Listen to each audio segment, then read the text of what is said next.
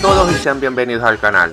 Yo soy Recoil y en esta ocasión, queridos amigos, vamos a hablar un poco de lo que vendría a ser todas las novedades que han salido últimamente de, de cara a G.I. Joe. De verdad que como coleccionista tengo que decir que estoy muy emocionado porque era de esperarse que tuviéramos muchísimas novedades de, de esta maravillosa franquicia llamada G.I. Joe. Y bueno, y quería hacer un vídeo especial, un poco así comentando mis opiniones, mis opiniones, perdón, sobre todo en esa línea maravillosa que está a punto de aterrizar entre comillas aquí en España. Estamos hablando de la línea maravillosa de G-Joy Classified Collection Classic que tendremos a escala 6 pulgadas, si Dios quiere, en tiendas físicas a partir de octubre de, este año, ¿no? O sea, está la vuelta de la esquina como quien dice. Igual con un poco de suerte las tenemos antes, pero bueno, yo me voy a hacer a la idea que estarán en octubre y así no me llevo desilusiones yo sé que a estas alturas de la vida, queridos amigos, los que son seguidores de esta línea ya tienen bastante información y demás, pero no por ello quiero dejar de comentarlas. Eh, está claro que las diferentes, en principio hay dos waves que son realmente interesantes, eh, en las que tenemos personajes tan característicos como, como, podría ser ni más ni menos que Ojos de Serpiente, el Comandante Cobra, evidentemente, Destro. Eh, bueno, yo creo que todos saben, ¿no? Más o menos quiénes son los que los personajes que conforman esas dos waves de esas maravillosas figuras de acción, ¿no? Sí es verdad que tenemos otras novedades de que, vamos, que yo creo que son la guinda del pastel un poco, que también me motivó a hacer este vídeo.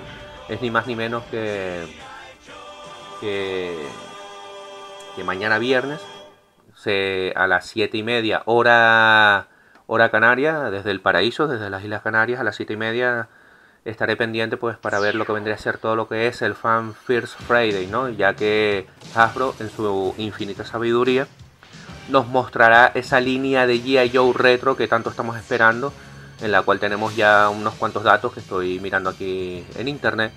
Eh, evidentemente en la página por excelencia de todo coleccionista de G.I. Que se aprecie, como no puede ser de otra manera que Histan, ¿no? Una para mí página web por referencia, ¿no? Para enterarme de todas las novedades en lo que a Joe se refiere. Pues dicho esto, queridos amigos, de verdad les animo a que vengan conmigo y vamos a ver, hablar un poquito de todas estas novedades que no son pocas.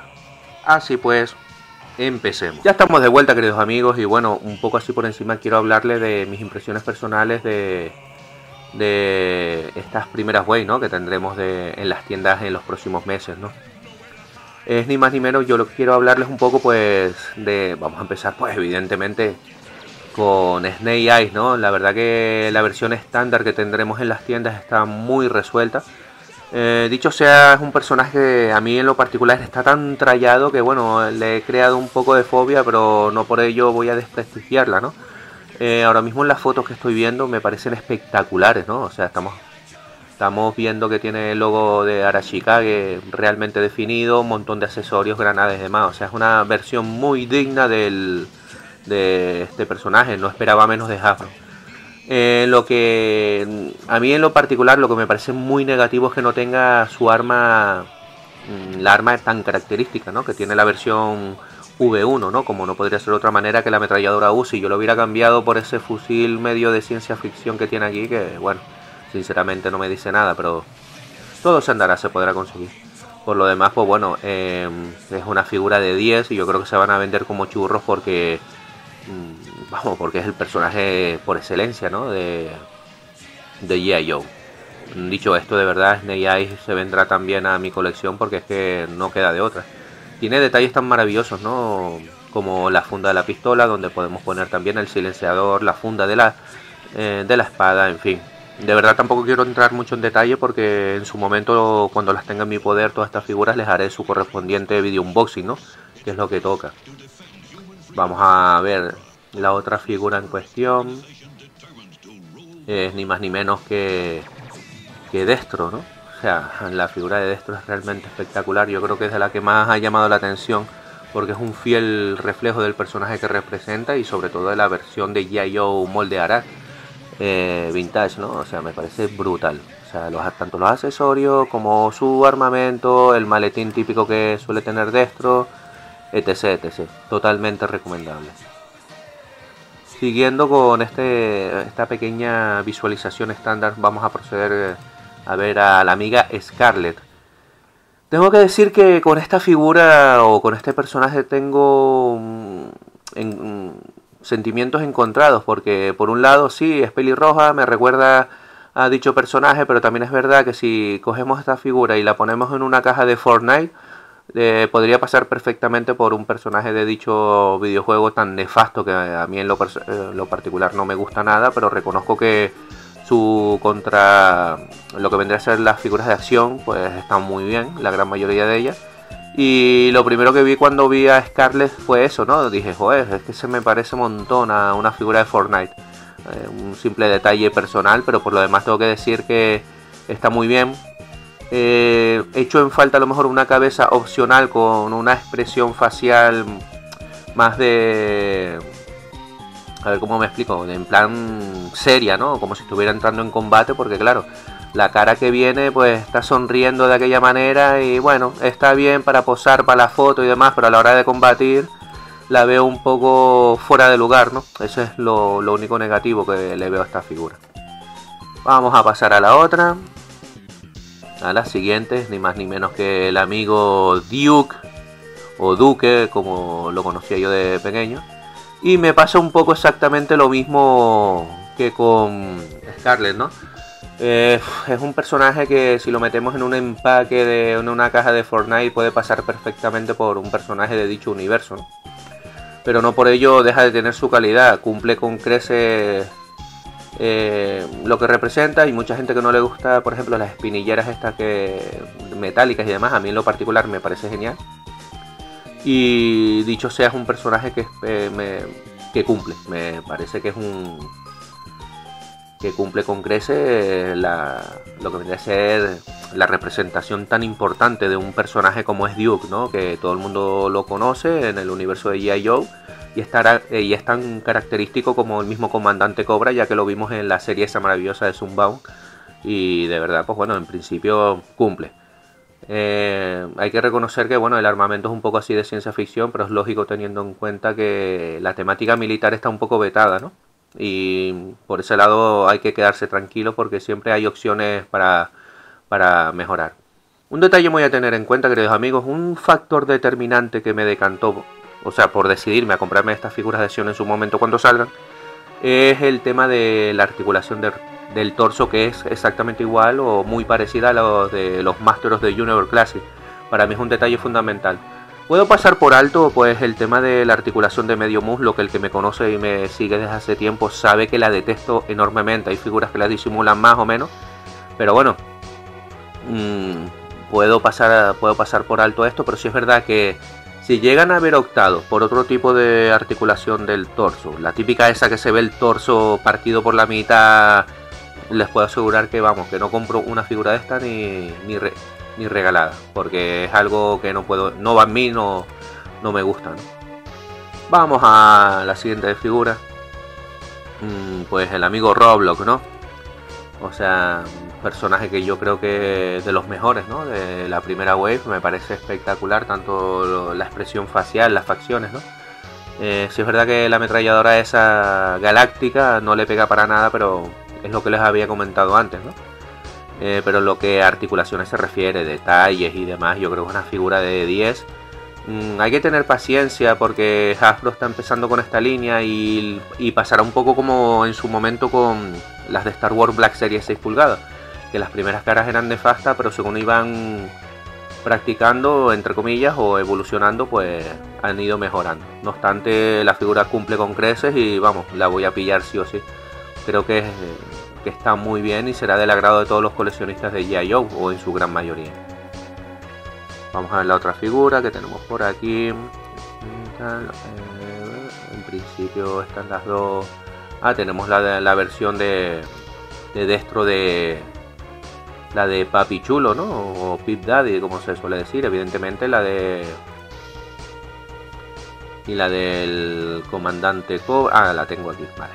Aquí está de verdad que bueno, es una figura realmente interesante que hace locución a ese personaje, a esa versión de Destro tan, tan no tan polémica, sino que era muy está muy cotizada por todos los coleccionistas tal. Eh, la versión Papichulo yo creo que se va a vender muy bien por lo que representa y en lo que a su figura en concreto me parece genial. Yo la voy a pillar sí o sí, me parece eh, un guiño maravilloso a esa versión vintage. Incluso el blister, lo que vendría a ser el blister, la caja está muy bien, no obstante hay que resaltar el detalle del arte, ¿no? De la caja que parece como si fuera de un videojuego o de una serie de animación.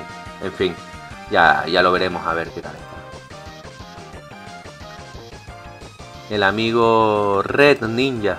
La verdad que yo el tema de los ninjas es que estoy tan saturado, pero sí es verdad que no puedo decir que esta, esta versión de Red Ninja me parece espectacular. Yo creo que es la típica tropa que se va a vender como churros es la típica figura que hay que tener a lo mejor 3 o 4 para tener tu pequeño army, ¿no? Con Storm Shadow para, para luchar contra G.I. Joe. Mm, está bien, es una figura muy correcta, de hecho me sorprende en el sentido de que podría ser un Red Ninja Crimson Guard, ¿no? De la línea Crimson que tanto me fascina. En fin, el límite es la imaginación y la imaginación y que cada uno haga lo que crea conveniente, pero esta es la típica figura que se va a vender de 2 o 3. Está claro, yo en principio pillo una y, sobrado. Yo la recomiendo en principio. Eh, la versión del comandante Cobra. Mm, sin lugar a dudas, les puedo asegurar que yo me la esperaba mucho peor. Creo que es una figura que cumple con creces. Está muy bien, representa una versión del comandante Cobra que todos mm, queremos o nos gustaba desde pequeño. Y de verdad está espectacular. Mm, lo único que no me gusta es el armamento. La verdad que el arma parece... Ahora mismo estoy viendo la foto y el arma, no sé, me parece como si... Eh, es, ridícula el, arma. En cambio trae una especie de cuchillo, barra, espada, machete que está muy bien. Pero sí es verdad que hay que ponerle un accesorio, una pistola en condiciones al comandante Cobra. Porque la que le viene me parece un churro, un churro importante. Así de claro, se los digo.